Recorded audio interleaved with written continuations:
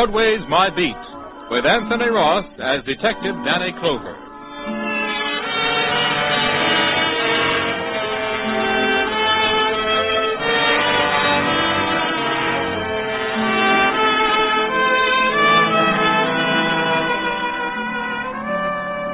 Broadway's my beat. From Times Square to Columbus Circle. The gaudiest, the most violent, the lonesomest mile in the world. That's the street I'm walking. I was heading to the courthouse one day thinking of a phone call I got from Judge Summers. Said he could use a cop with the wisdom of Solomon. I met the judge in his chambers wondering why he had picked me. Why you, Lieutenant Clover? Huh? Hmm, because I have a problem for a cop who can think like a judge, Danny. For a cop's pay or a judge's, Your Honor? a young woman is in New York looking for her father, Danny. He disappeared ten years ago. She's applied to Missing Persons Bureau, she doesn't know it yet, but they've located him. They don't know what to do about it, so they've asked my advice, and I'm asking yours. oh, I don't get it, Judge. If, I mean, if they found him, what's the problem? Human relations. Hmm? Her father was located a prisoner in Sing Sing. Served ten years.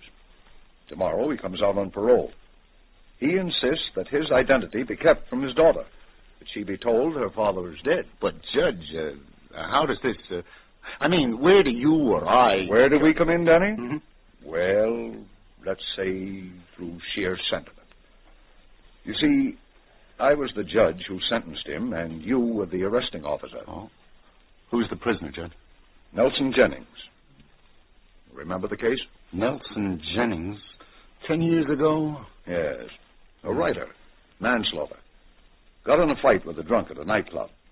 The drunk died of a heart attack as the result of the fight. Yeah. Yeah, it comes back. He was night clubbing with his wife. A, a no good stew at the next table passes an insulting remark to Mrs. Jennings. Uh, Yeah.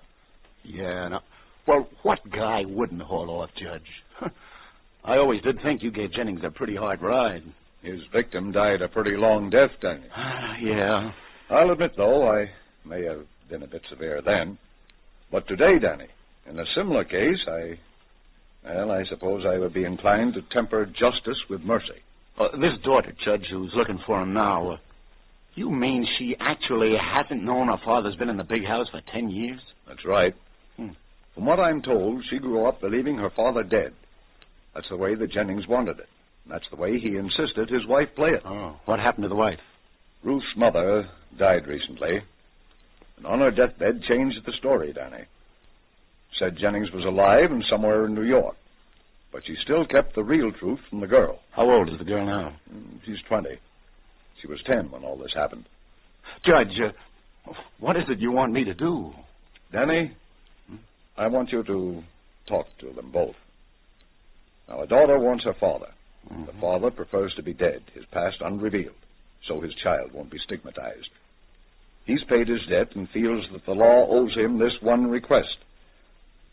Now, where is our responsibility, Danny? It's a hard decision. You visit them both and decide.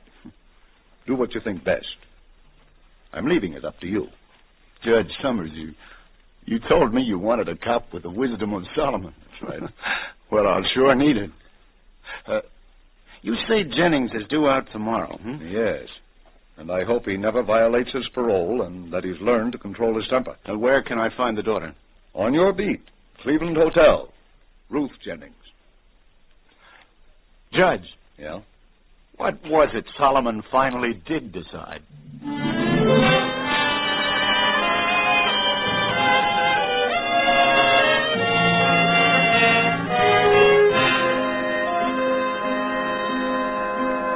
Lieutenant Clover, I beg you, let me have my way in this. My child must not find me. She mustn't, never. Fella, fella, be reasonable. I know how you feel, but well, after all, she came to New York to find her father. She's better off without a father like me. Oh. I won't ruin her life like I ruined her mother's. A ten year stretch is a long time. I'm an old man now. I died for my family's sake ten years ago. All I asked of them was that they bury me and live. And you still think that made sense? Yes, look at my daughter now. Shortly before my wife died, she wrote me that Ruth's engaged to be married. Do you know who to? Let me tell you, Lieutenant, to young Johnny Milton, who comes from a very prominent family in Indianapolis, do you think that could have happened if the Miltons ever knew Ruth's father was a convict? Do you think Ruth would go through with it if she knew? You win, Jennings. Lieutenant, Yes. you saw my daughter. Yeah. How does she look? How? Jennings, for a guy who insists he's dead, you're darn curious. But I'll tell you anyway. In one word. Sweet.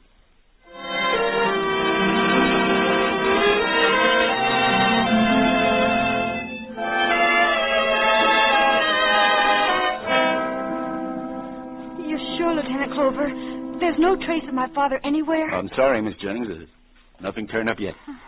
But, uh, what made you think he was in New York? Oh, just a feeling. Mother used to take trips to New York. Never told me why. Left me with Grandma. And when she came back, she'd be crying. Mhm. But then, just before she died, she told me for the first time that Father wasn't dead, that he was somewhere, and that he still loved us very much. Hmm, So you think your mother's trips to New York were to see him? hmm? Yes, there's, there's some mystery about it all. Oh, Lieutenant, he's alive. Don't ask me how I know, but I know it. He's alive and he's somewhere in New York. Oh, please, please don't stop looking for him. What if I do find him, Ruth? And what if he isn't, well, everything you'd like to.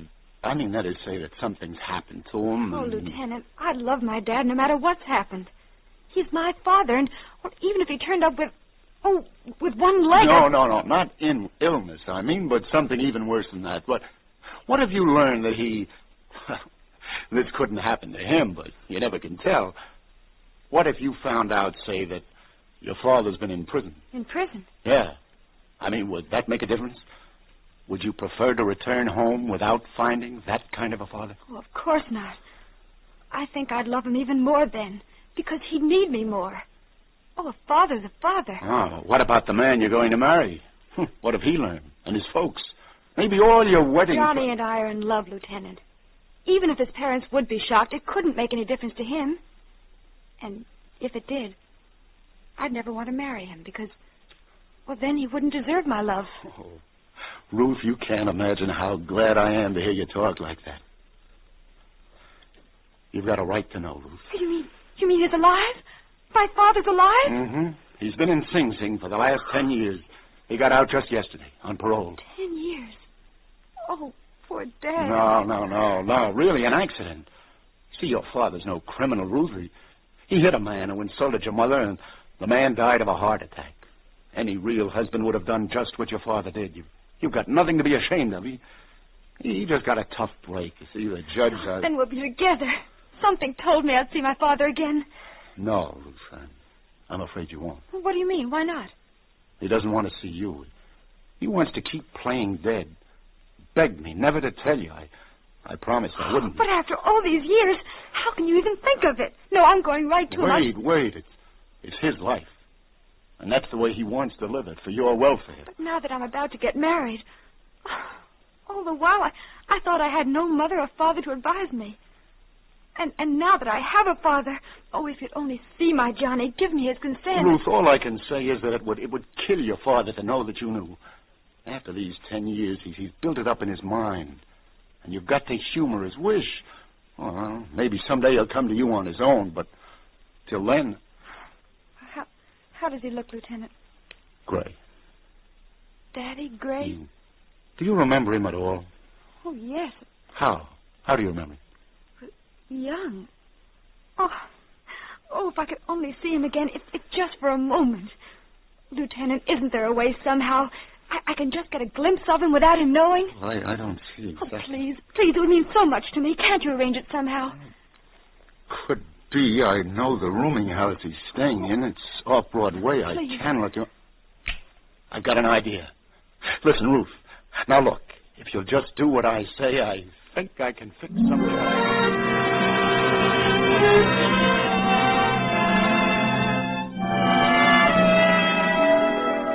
What did you say, Lieutenant I Clover? said, would you like to just sort of catch a glimpse of your daughter, Mr. Jennings? You know, sort of meet her, but without her knowing who you really are? Yes. Go on. Well, then drop in at the Broadway Automat at 6. I'm having a bite with her there. Just just stop at our table a minute. I'll introduce you as an old friend of mine. Uh, make it Bert Freeling. I- I'm afraid She's leaving town tomorrow. Giving up the hunt for a dad. Here's your one chance. Oh, she might recognize me. But I don't think she will, do you? She was only ten at the time. She's a young lady now. That's right, Jennings. It's been ten long years. I I have changed a lot, Lieutenant, haven't I? Yes. You've changed a lot, Mr. Jennings. So she'd never. That is, I, I don't see what harm if if I was just to sort of bump into you two at the table for a moment and you introduced me as someone else. Exactly. I don't know. I I don't think I could stand it. Let me think it over. My head's pounding. Let me think it over.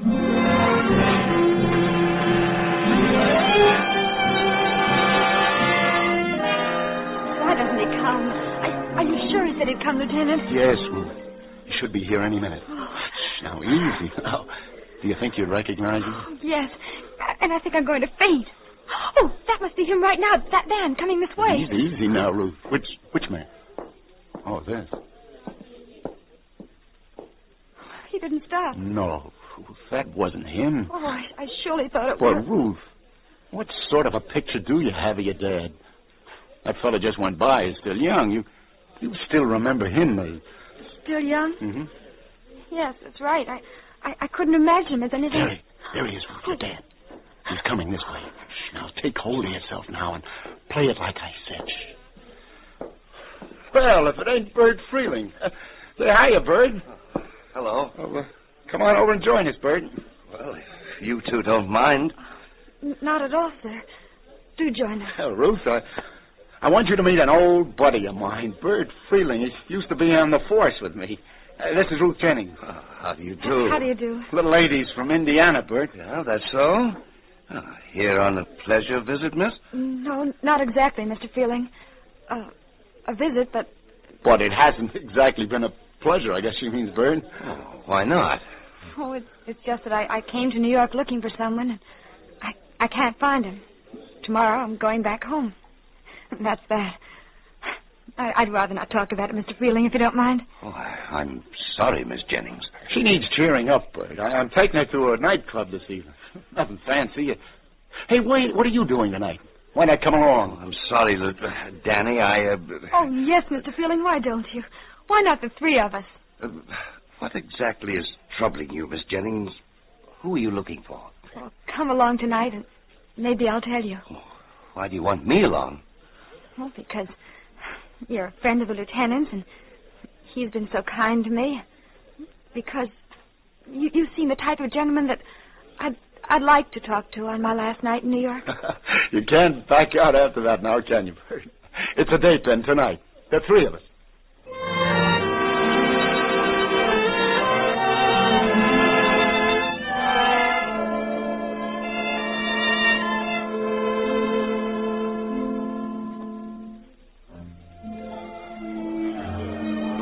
Jennings. She'll be back in a minute, so let me give it to you straight. Tell her who you are now. She's got a right to know. It wouldn't make any difference. She likes you. She'd hate me if she knew. Oh. I'd lose her altogether. I'd ruin her life. But chances for happiness. She's getting married. If the boy's family ever knew. Oh, no, Lieutenant. The important thing is. You're her dad, and she's your daughter. Can anything be more important than that? Shh, Here she comes. Oh, Lieutenant, Mr. Freeling, notice what they're playing? It's an old-fashioned waltz. Mr. Freeling, I I know it isn't a girl's place to ask a gentleman, but you haven't danced with me all evening. Eh? I, well, I'm not a young man. I haven't danced in years, I'm afraid. I. All right, Miss Jennings, with great pleasure.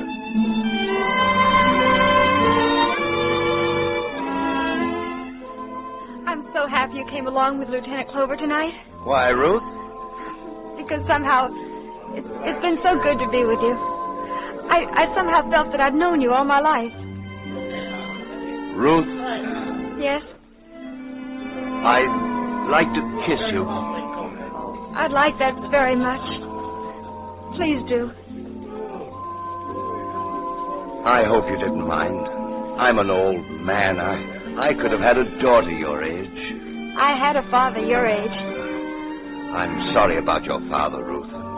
I mean that story you just told me about your reason for coming to New York.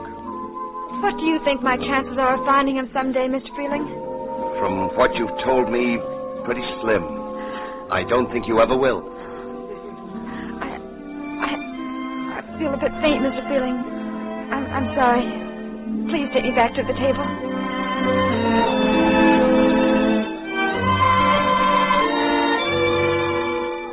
Hey, now what happened? You didn't finish that wall. Well, Danny, Ruth suddenly felt a bit faint. Well, it, it was silly of me. I, I don't know what came over me for a moment. I'm really perfectly all right now. Well, Bert, you, you certainly seem to have made a hit with our little friend here. Mr. Jennings is a charming gentleman, Lieutenant. oh, say, excuse me, folks. I clean forgot. I, I got a phone in at the station house. Should have done it long ago. There goes the kindest man I've ever met. He certainly is. Mr. Freeling, I, I wonder if I could ask a favor of you. What is it, Ruth? I received a wire from my fiancé a few hours ago. He decided to fly to New York and join me here for a few days. That means that I'll be staying on a while after all. Uh, Mr. Freeling, Yes, Ruth? I'd, I'd like you to meet my Johnny and tell me what you think of him. Me? But why me? Because I've, I've- taken such a liking to you. You see, I have no parents to advise me.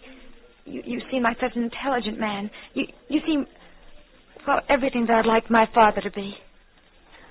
I, I wish you'd see my fiancé when he arrives and tell me whether you approve. Yes, but see here, I'm hardly the one to do that, Ruth. It's not my place, after all. I see. I'm sorry if I impose. Well, not at all, Ruth. It's not that I'm not flattered. I do admire you so, the short time I've known you. Such a lovely young lady, everything I could wish a daughter of mine to be, but But now, if you ask me anything else, I, I do wish you all the happiness in the world. And if there's anything else I could no, do. Mr. Freeling, I, I just wanted your opinion about the man I'm going to marry. But skip it. It's all right. Uh, is he, this young man of yours, coming alone? That is, his folks won't be with him? Oh, he's coming alone. Oh, I see. Well, now, I'll tell you what, Ruth. Since, as you say, you have no mother or father to consult, and since it's only natural for you to want some friend whose judgment you rely on to. Th- then you will? Yes, I will.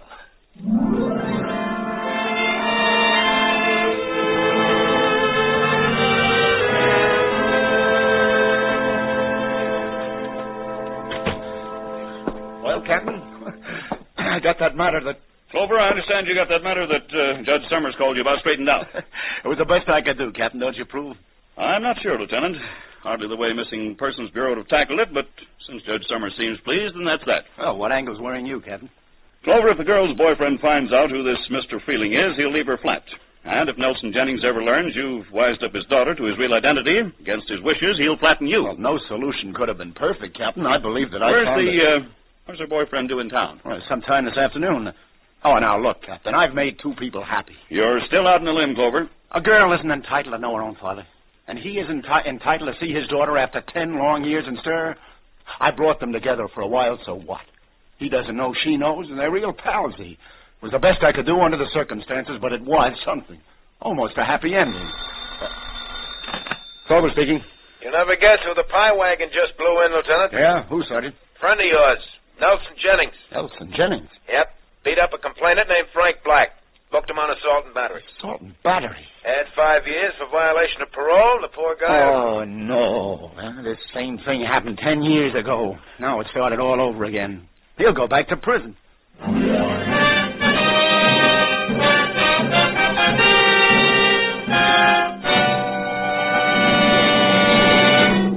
Tonight on CBS, you can hear about a man who believes you should never run to work when you can walk. A man who believes you should never walk to work when you can just stay home and think about it and keep your feet healthy. His name is, of course, Mr. Jack Benny. And he will be heard on the same CBS stations to no one's great surprise, but to everyone's delight.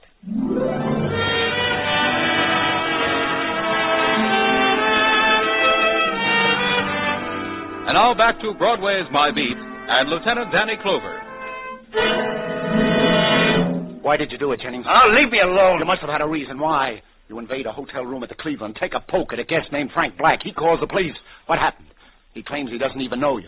Why did you go there? What did you have against him? Who is he? What did he ever do to you? Leave me alone. Leave me alone, Lieutenant. You realize what a jam you're in? It'll mean five more years for parole violations. Come on, talk, Jennings.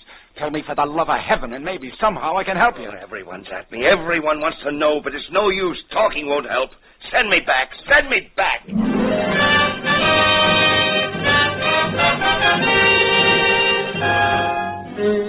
Uh, Judge Summers, it's Bob Nelson Jennings I'd like to see about, sir. I understand his case comes up before you tomorrow, and I don't know why he did it, but, Judge, if, if any guy deserves Lieutenant a... Clover, we've both wasted our time showing sympathy for that man.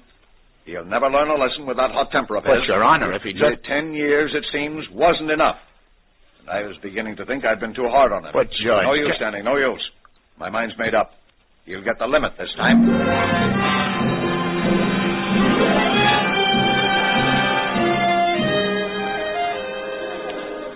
A couple of those perfectos, Sally. Right, Lieutenant Clover. What's up? You look low. Uh, no mood for conversation, Mother. Hmm, get that gratitude. And just when I was just about to throw you a little dirt on that Nelson Jennings case, Huh? too. Well, then I love you very madly. Come on, give. Well, remember you were in here a little while ago asking me what do I know about a guy stopping here named Frank Black? Mhm, Yeah, sure, Mother. The guy who had Jennings arrested? Yeah? And I answered you, I didn't know anything about him. Didn't even know what he looked like. Go on. Well, when you described him to me, nothing clicked. Yeah, yeah, go on. Well, now something clicked. What? A man of that description bought a cigar off of me here yesterday, and he was very inquisitive. So? Well, I don't know whether this will help you any, Danny, or how it fits in, but, well, this guy asks me questions like, Is Miss Ruth Jennings registered at this hotel? What? Mm-hmm. He did. Well, go on, Sally. I'm listening. Well, I tell him, yeah, she is. And then he says, Is her father named Nelson Jennings? Naturally, I says, Search me. Oh, and Mother, he I says, think I'm beginning to do a slow two and two. Hey, where you off to, Danny? What's up? I up? see you, lover. Thanks. I got to add it up at the station house. See if it comes out four.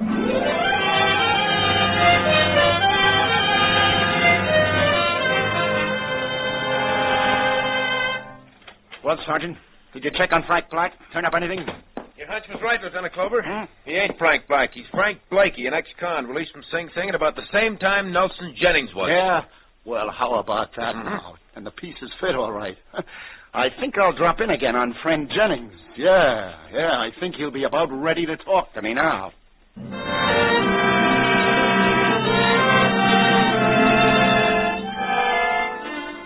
Come on now, Jennings, fella B, you may as well give now. I got a pretty good idea why you did it, but I want it from you. Jennings. Jennings, if I tell you that that scummy Blakey was asking around about your daughter, will that make you talk? Ah, and I guess you have it, Lieutenant. Ah, he was trying to blackmail you, wasn't he? Yes. And to think he was the one prison inmate I trusted. He knew the secret I was trying to keep from my daughter. Well, this morning I got a phone call from him, mm-hmm. threatening that unless I come across, he'll tell my daughter just who her missing father is and to expose my prison record. So I went to his room to argue him out of it. I saw red, Lieutenant. Will I be sent up again? I don't know, Jennings. I'm not the judge. You should have reported to the police, but I'm with you 100%. I'll see that all your evidence gets in. Who knows? Maybe the judge will temper justice with mercy anyway. Keep your fingers crossed.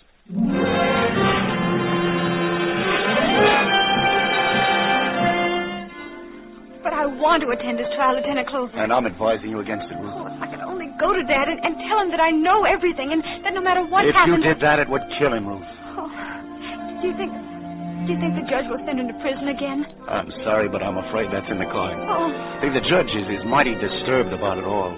Oh, your father had plenty of provocation, but he shouldn't have taken the law into his own hands. Suppose, suppose you just wait right here and pray for a miracle.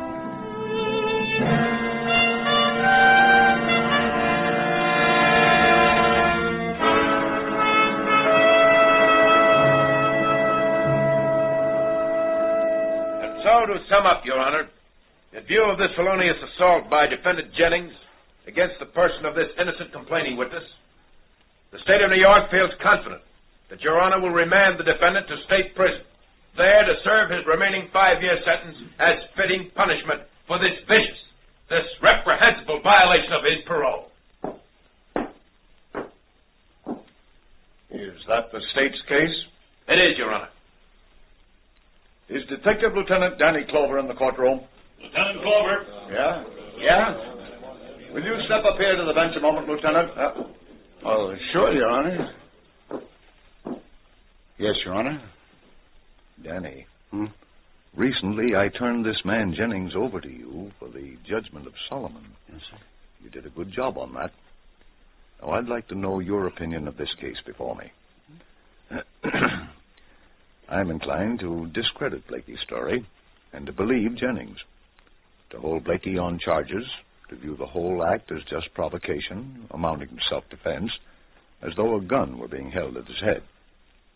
And with respect to defendant Jennings, Yes, Your Honor. to temper justice with mercy. What do you say, Clover? What do I say? You do that, Your Honor. You do that.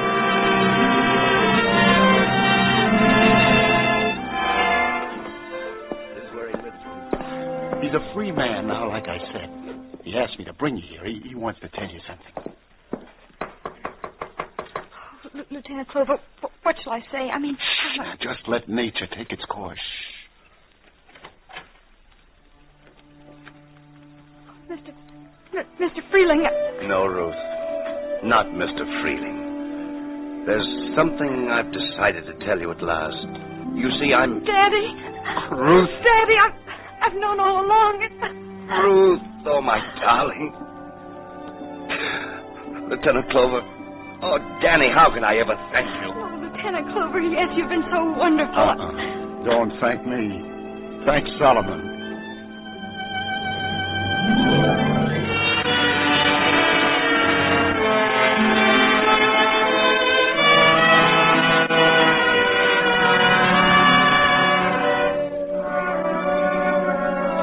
Like I said, I, I was betting on nature to take its course. It always has, and it always will. A warm May breeze now filtering down the side streets.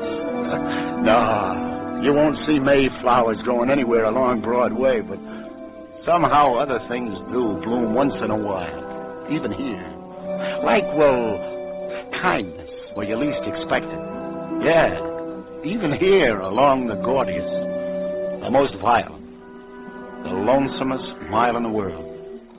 Broadway, my beat.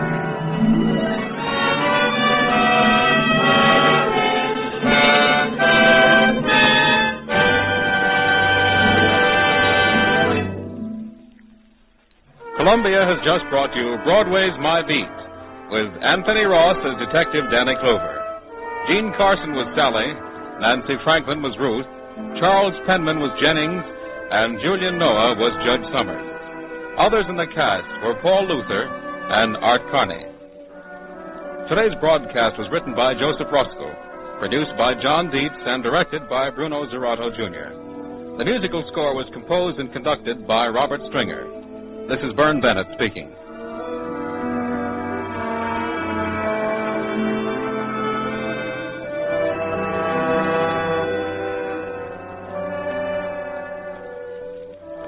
He may be a close neighbor of yours, or at least he lives quite near you.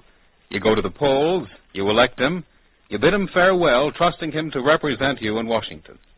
From then on, what happens to your congressman in the nation's capital? What pressures are brought to bear on him? In how many hundreds of fields must he rapidly become an expert? Why does he vote as he does? Tonight on CBS, you'll hear Ralph Bellamy, star of radio, stage, and screen, playing a typical freshman congressman in the 81st Congress. His story will be a drama taken from interviews and talks with many regular congressmen, with Washington experts, with politicians, with, yes, with voters like yourselves. This CBS documentary unit drama, The People's Choice, starring Ralph Bellamy, will come to you tonight over most of these same CBS network stations.